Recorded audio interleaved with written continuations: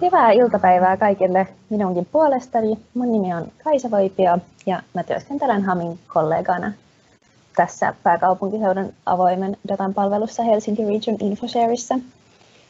Tämän mun puheenvuoron, joka kestää reilu parikymmentä minuuttia, tämän on tarkoitus nyt toimia alustuksena loppuiltapäivälle. Me tutustutaan karttoihin ja paikkatietoon. Karttojen osalta me lähdetään sillä oletuksella, että, että jokainen, jokainen paikalla oleva on kuitenkin joskus nähnyt karttoja, joskus hyödyntänyt niitä, mutta tuon paikkatiedon osalta me lähdetään ihan, ihan sieltä nollasta, eli oletuksella, että kuulija ei tiedä, mitä paikkatieto tarkoittaa. Ja sen mä tuon teille tänään tai tässä myöhemmin selittämään esimerkin keinoin, että mitä tällä paikkatiedolla oikein tarkoitetaan. Mutta lähdetään liikkeelle. Kuten sanoin, niin jokainen, jokainen meistä on nähnyt karttoja, ihan fyysisiä karttoja, kuten esimerkiksi tässä mun takana on yksi fyysinen kartta, tai sitten nykyään enenevissä väärin käyttänyt internetselaimen kautta tämmöistä interaktiivista karttaa. Mutta aika harvoin sitä pysähtyy miettimään, että mitä se kartta, tai että miten se oikeastaan, mikä se oikeastaan on, kun sen ottaa ehkä niin tota, äm, itsestäänselvyytenä. Joten mä halusin poimia tähän alkuun kartan määritelmän geoinformatiikan sanastosta. Eli kartta on käyttötarkoitustaan varten tulkittu ja yleistetty. Kartta ei koskaan voi kuvata sitä kohdettaan aivan yksi yhteen. Kartta on käytännössä aina, aina pienennös. Ja se, että se on pienennös, niin se aina on jossain tietyssä suhteessa tämä reaalimaailma kuvataan pienennettynä eli se noudattaa jotakin mittakaavaa. Kartta on myös laadittu erilaisten symbolien avulla, ja usein nämä symbolit on sellaisia, että ne on, niin kuin, niitä on totuttu käyttämään ja ne, ne muodostaa sitten hyvien, hyvien karttojen piirteitä. Yksi, yksi tämmöisiin symboleihin liittyvä on esimerkiksi se, että, että vesialueet esitetään sinisellä värillä Ennen kaikkea kartta on ihmiselle tarkoitettu visuaalinen esitys paikkatiedosta. Eli tämä paikkatieto, mihin me mennään myöhemmin tarkemmin, on, on siellä niin kuin pohjalla siinä kartassa. Kun me lähdetään tekemään karttoja, niin se mitä me käytännössä tehdään on se, että me pyritään esittämään tätä meidän maapalloa, joka on muodoltaan ellipsoidi, eli se on pallomainen muoto, joka on vähän tuolta navoilta litistynyt. Me pyritään tätä kolmiulotteista muotoa tuomaan kaksiulotteiseen tasoon. Ja tässä prosessissa tulee eteen monenlaisia kommervinkkejä, koska se, se ei ole niin kuin, mahdollista ilman, ilman, että siihen ää, kaksiulotteiseen tasoon siihen, siihen karttaan tulee jonkinnäköisiä vääristymiä, kun tuo kolmiulotteinen ei vaan taivu siihen kahteen ulottuvuuteen. Se menetelmä, millä me tätä ää, siirtämistä kaksulotteiseen tasoon tehdään, sitä kutsutaan karttaprojektioksi. Mä toivon, että kuva tässä havainnollistaa sitä, sitä ongelmallisuutta, mikä siinä on, kun, kun me yritetään tuon pallon ympärille sovittaa sitä kaksulotteista tasoa nämä karttaprojektiot, ne, tämä menee niin tosi syvälle matematiikkaan näiden teko, ja me ei olla nyt menossa sinne, mutta mut mä halusin vain poimia tämän kuvan, kuvan esimerkiksi siitä, että millä eri tavoilla tuota kaksulotteista tasoa voidaan, voidaan tuohon kolmiulotteisen maapallon päälle tuoda. Mulla on seuraavaksi muutama esimerkki maailmankartoista, ja ne on kummatkin tehty tuolla, tai ne on tyypiltään tätä Lierio-projektiota. Tässä vasemmassa reunassa näkyy siitä esimerkki. Mennään tota ensimmäiseen esimerkkiin. Tässä on kyseessä Mercaatorin projektio. Ja kun olette, olette nähneet maailmankarttoja, niin on aika suuri todennäköisyys, että suuressa osassa niistä on käytetty tätä Mercaatorin projektiota Yleisemmin tätä näkee ehkä semmoisessa muodossa, että tuosta tuolta alareunasta on, on tota, osa tuosta Etelämantereesta leikattu pois. Sen takia tämä saattaa näyttää vähän hassulta, kun tuo Etelämanner näkyy tuolla kokonaan. Tämä projekti jo kehitettiin 1500-luvulla merillä liikkumisen ja navigoinnin tarpeisiin. Tässä on hienoa se, että tässä säilyy suunnat. Eli kun 1500-luvulla ää, oltiin lähdössä purjehtimaan, oli tota, paperinen kartta, sä olit menossa pisteestä A pisteeseen B, sä pystyit ää, piirtämään suoran viivan näiden pisteiden välille ja siitä laskemaan kulman, mitä sun piti seurata kompassin avulla, kun sä navigoit tuolla merillä. Ja sillä, sillä tavalla pysyttiin reitillä ja kurssilla ja löydettiin sinne paikkaan, mihin oltiin menossa. Toinen juttu, mikä tässä on hienoa, on se, että tässä nämä maamassojen muodot on, on niin kuin hyvin, hyvin oikein verrattuna siihen meidän kolmiulotteiseen maapalloon. Eli mantereet näyttäytyy oikein muotoisina. 1500-luvulla siis kehitetty tämä. Ja nyt, nyt ollaan 2020-luvulla ja edelleen tämä on, on hyvin käytetty projekti jo huolimatta siitä, että tuossa 70-luvun jälkeen vesillä liikkumisen navigaatio on, on tota, tapahtunut satelliittipaikannuksen avulla, joten tavallaan tämmöistä niin navigointiin liittyvää syytä ei ole enää ollut. Mut, ää, tässä, tässä on joitakin sellaisia asioita, mitkä on sopinut erittäin hyvin ää, länsimaille tai niin kuin näille, näille maille, jotka on historiallisesti ollut hyvin vauraita ja menestyneitä. Eli tässä karttaprojektiossa on tosi isoja vääristymiä pinta-alan suhteen, etenkin kun mennään lähemmäs, lähdetään tuolta päivän tasajalta poispäin ja mennään lähemmäs näitä napa-alueita. Jos me katsotaan Grönlantia, sen pinta-ala on todellisuudessa yksi neljästoista osa koko Afrikan mantereen pinta-alasta. Ja sehän ei tässä nyt oikein siltä näytä. Eli tässä karttaprojektiossa todella pahasti vääristyy noin pinta-alat.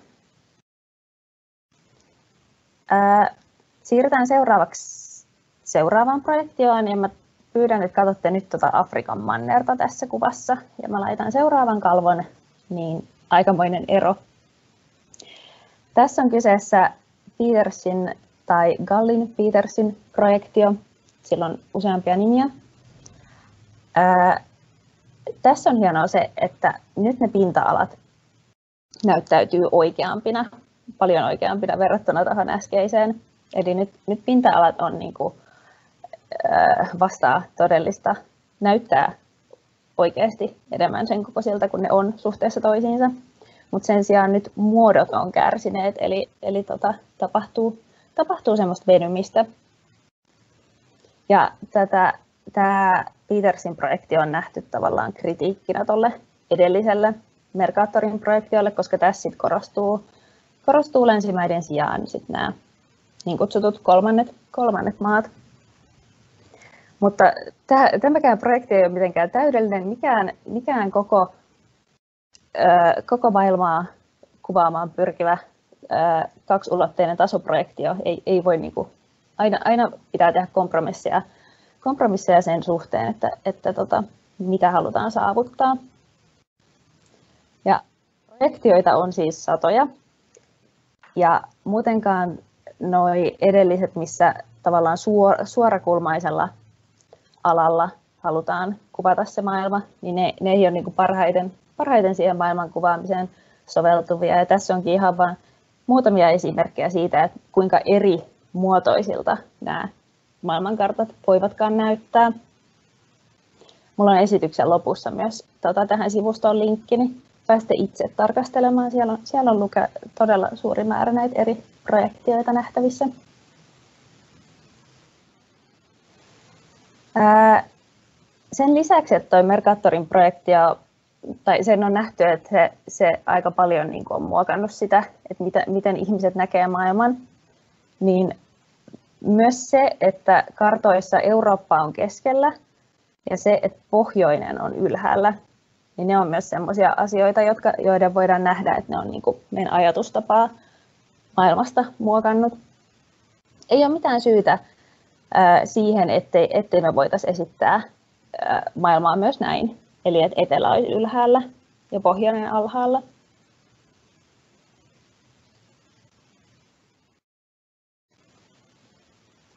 Tämä karttaprojektio pitää aina, aina valita sen tilanteen mukaan, että mitä, mitä aluetta halutaan kuvata. Silloin kun kuvataan pienempiä alueita, eli, eli niin kuin koko maailman sijaan vaikkapa Suomea, niin ei, ei voida käyttää, käyttää niitä samoja karttaprojektioita kuin niissä maailmankartoissa. Ja ää, vaikka ne vääristymät on suurimpia noissa, noissa kartoissa, missä yritetään kuvata tosi isoja alueita, kuten vaikka koko maailmaa, niin myös niin kuin Suomen, on Suomikin sen verran iso maa, että kyllä täälläkin vääristymiä tulee. Kun, kun tarkastellaan koko Suomea, niin käytetään tämmöistä ETRS TM35 Fin projektiota, mikä, mikä on myös tässä kuvassa, tai Suomi on myös nyt siinä projektiossa tässä meidän kuvassa. Tämä projekti on kytketty muihin eurooppalaisiin projektioihin, eli se on niiden kanssa yhteensopiva. Mutta tässäkin on vääristymiä. Esimerkiksi tuo Ahvenanmaan saaristo on semmoista aluetta, mikä kun se on tuolla laitamilla, niin se, se vääristyy tässä.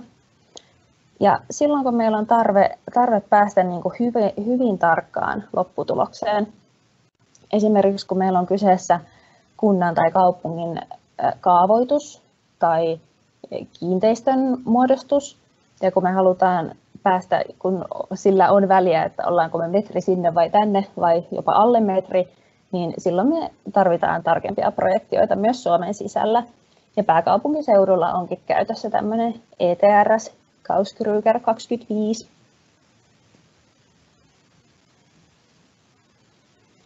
Se oli osuus kartoista. Mä toivoisin, että teille jäisi mieleen siitä se, että kartat on tosiaan aina yleistyksiä ja niillä, niillä on hyvin harvoin mahdollista kuvata asioita yksi yhteen, koska sittenhän sen pitäisi olla aivan yhtä iso kuin tämä meidän ympäröivä maailma.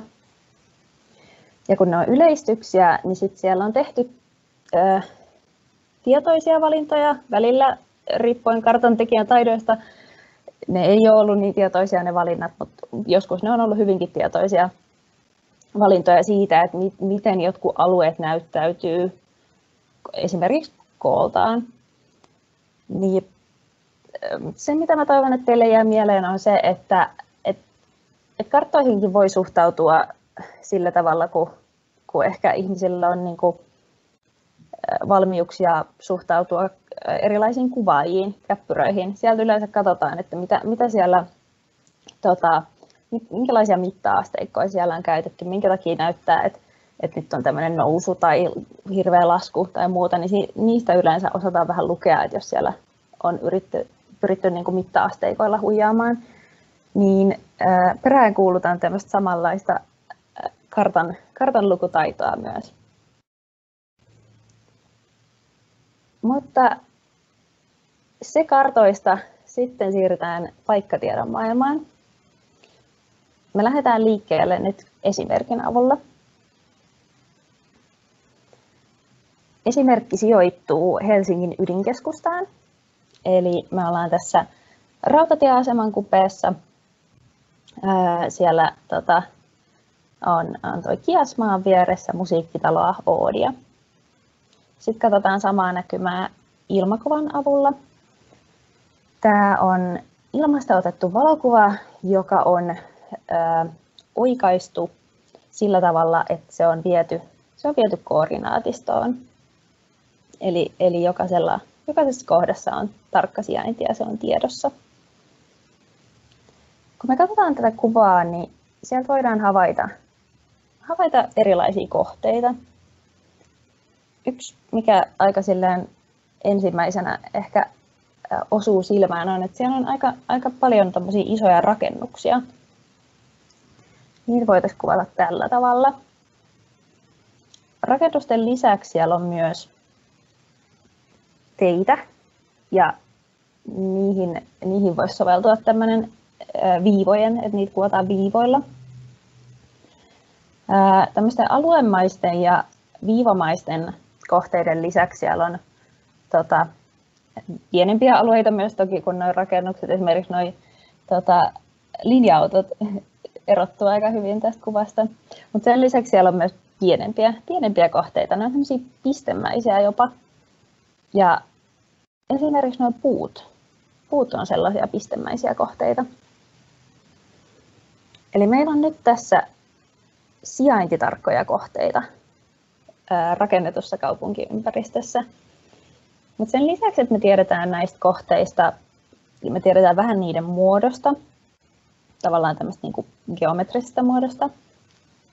Sitten me tiedetään niiden sijainti, koska tämä meidän taustalla oleva kartta on, on sijaintitarkkaa. Mutta me tiedetään niistä muita asioita. Esimerkiksi tämä rakennus. Me tiedetään, että tässä rakennuksessa sijaitsee keskustakirjasto Oodi, joka valmistui 2018. Se aukesi silloin sinä vuonna joulukuussa ja silloin joulukuussa oli heti, heti melkein 300 000 kävijää vieraili siellä. Me tiedetään sen rakennusmateriaaleista, me tiedetään tosi monia asioita liittyen, liittyen keskustakirjasto Oodiin. Tässä on vain ihan, ihan muutama esimerkki. Me tiedetään myös noista viivamaisista kohteista. Esimerkiksi me tiedetään, että tässä on vilkas tie nimeltään Manderheimin tien, joka on toiminnalliselta luokaltaan pääväylä tai tie. Me tiedetään myös, että se on 5,5 kilometriä pitkä ja se on lisäksi osa Eurooppa-tietä E12. Sitten me tiedetään asioita myös noista yksittäisistä puista. Esimerkiksi tämä puu tässä on hevoskastania. Me tiedetään sen latinankielinen nimi.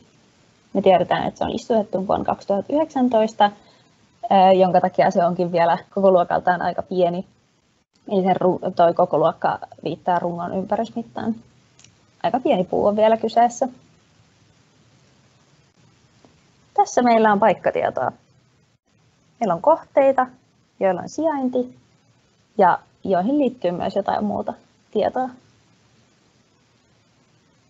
Sama kirjallisesti. Eli meillä on tietoa reaalimaailman asiasta tai ilmiöstä ja me tiedetään sen sijainti maan suhteen. Ja paikkatiedolla kuvataan sen kohteen sijaintia ja sitten jotakin, jotakin ominaisuutta liittyen siihen. Temaattista ominaisuutta, se voi olla joku ajoittava ominaisuus. Yleensä paikkatiedolla kuvataan äh, tämmöistä rakennetun ympäristön kohdetta tai luonnon kohdetta, niin kuin tässä esimerkissä. Mutta käytännössä sillä voidaan kuvata mitä tahansa toimintaa tai ilmiötä, jos me vaan tiedetään, että se kytkeytyy johonkin sijaintiin.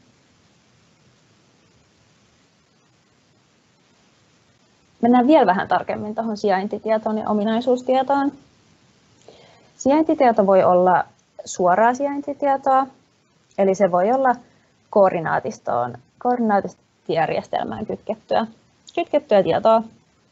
Eli me tiedetään sen koordinaatit sen kohteen koordinaatit.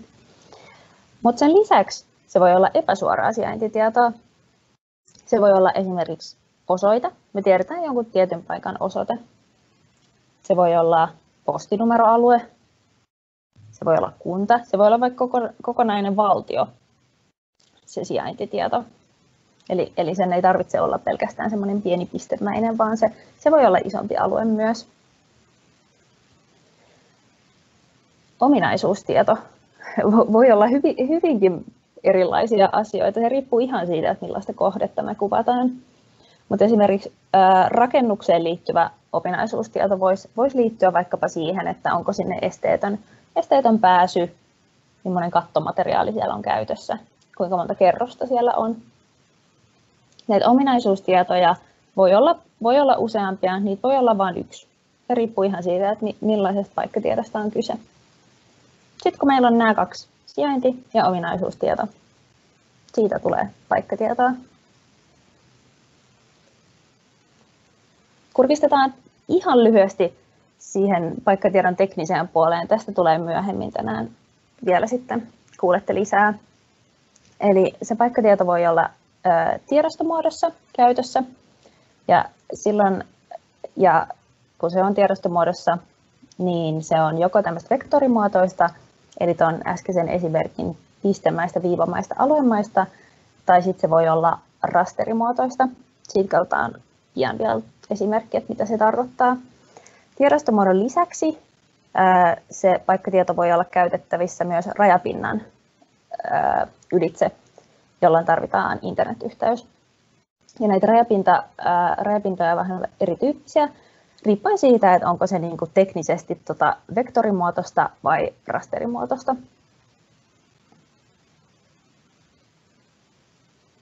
Ja tässä vielä palataan, eli ää, aluemaisia kohteita oli nuo rakennukset, ää, viivamaisia tiet, pistemäisiä ja puut.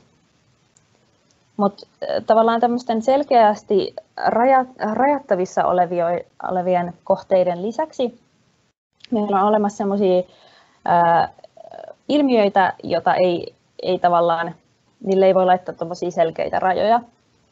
Ää, tässä on nyt vähän ehkä hassusti tuotu ilmakuvan päälle maanpinnan korkeusmalli, joka on jatkuva. Maan pinnalla on koko ajan silloin jossakin korkeus.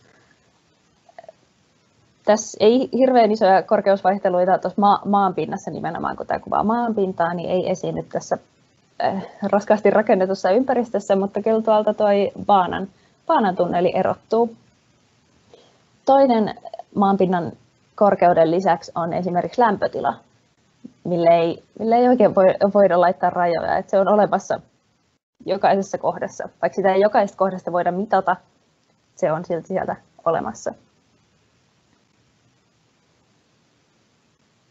Mitä, sillä, tai mitä, mitä hyöty tästä paikkatiedosta sit voisi olla?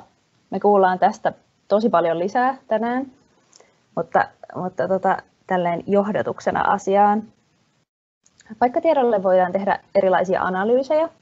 Ja nämä analyysit on sellaista toimintaa, jossa sitä paikkatietoa käsitellään ja sen avulla saadaan jotakin uutta, uutta tietoa. Ja näiden paikkatietoanalyysien avulla voidaan vastata tosi monenlaisiin kysymyksiin.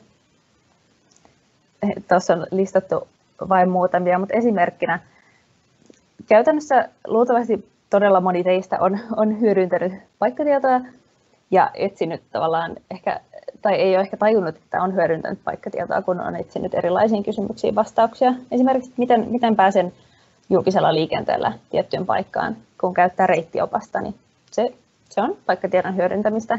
Tai jos on muuttamassa uuteen paikkaan ja kiinnostaa, että missä on lähiruokakauppa, sitä kun selvittää, se on paikkatiedon hyödyntämistä. Jos kauppias on perustamassa uutta, uutta ruokakauppaa ja pohtii, että mikä olisi sopiva alue, niin hän saattaa eri, eri alueiden ää, selvittää sieltä erilaisia asioita, esimerkiksi millainen väestöpohja siellä on, miten siellä on julkisen liikenteen, henkilöautoliikenteen, pyöräliikenteen verkostoja. Tosi, tosi monenlaisiin kysymyksiin voi paikkatieto vastata. Paikkatietoa pääsee hyödyntämään kuka tahansa kotisohvaltaan maksuttomasti. Mulla on tässä muutamia vinkkejä, ja näitä vinkkejä tulee iltapäivän kuluessa lisää. Suomessa on tämmöinen kansallinen paikkatietopalvelu nimeltään Paikkatietoikkuna. Siellä on koko Suomea koskevia aineistoja, mutta myös pienempiä alueita koskevia aineistoja. Kaupungeilla on karttapalveluja. Mä oon koonnut tähän vain nämä pääkaupunkiseudun kaupungit, mutta to, todella monilla kunnilla on omia karttapalvelujaan. Eli hakukoneeseen vaan kirjoittaa kunnan nimen ja karttapalvelu, niin saattaa, saattaa löytyä vastauksia myös pienien, pienten kuntien osalta.